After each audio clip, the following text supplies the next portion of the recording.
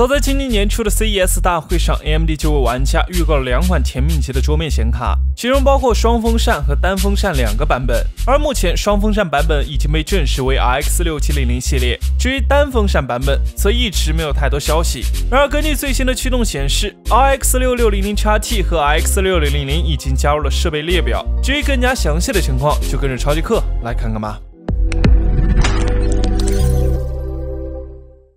其实按照时间线来看，X 六七零零 XT 已经发布了三个多月，但由于货源紧缺、黄牛加价等多种因素，能够买到这张显卡的玩家可谓是少之又少。所以为了避免类似的情况再次发生，原本定于五月发售的 X 六六零零系列便被 AMD 隐藏了起来。可伴随着虚拟货币的拦腰斩断以及挖矿行业的纷纷叫停，显卡市场也已在慢慢开始回落。这对于 AMD 来说可谓是利好时机，于是便把 X 六六零零系列重新提上了日程。具体来看，在月初的二零二一 Computer X 主题演讲会上，AMD 正式公布了面向移动端的 RX 六千 M 系列显卡，而这些显卡的核心就是玩家们期待已久的 Navi R 三核心。除此之外，据推特用户表示，在 AMD 最新所放出的二十一点六点一的版本驱动中，包含了多款新显卡，其中就有 X 六六零零 x 七和 X 六六零零的身影。与此同时，这两个信息都是基于七十三 FF 的 PC2 设备 ID，与移动版 X 六六零零 M 属于同一序列。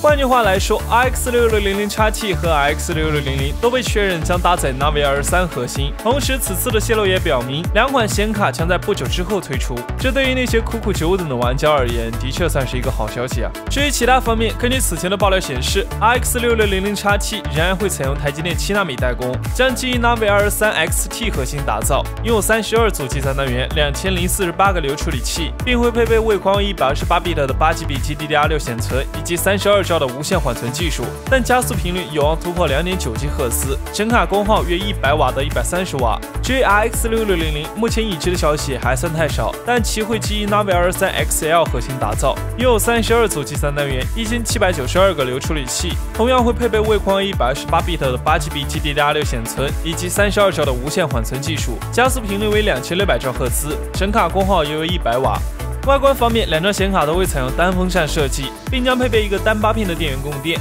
这样的话，整机的供电需求会低很多。至于性能方面，根据 s h i f o 所透露的工程样品来看，RX 六六零零 XT 的 Time Spy 跑分为九千五百三十三分，哈希速率为三十点一兆哈希每秒。RX 六六零零的 Time Spy 跑分为七千九百零五分，哈希速率为二十六点三兆哈希每秒。看得出来，这应该是为幺零八零 P 分辨率游戏而准备的。但如果搭载 AMD 最新的 FSR 技术，不知道又会有。怎样的提升呢？最后，在价格方面，据供应链表示，该系列显卡的价格会在三百到四百美元之间，而 RX 六六零零 XT 的国内定价预计会是两千四百九十九元，RX 六六零零则是一千九百九十九元。同时，两张显卡都有望在七月发布。而鉴于目前显卡市场的慢慢降价，原价购入这两款显卡的机会也将是非常之大。但具体情况还得看市场行情，至少溢价不会像之前那样离谱。所以各位等等党们，AMD 这两张显卡是你期待的显卡吗？欢迎在评论区。或弹幕上留言哦。那如果还想了解更多一些相关的消息和科普知识，记得关注超级课。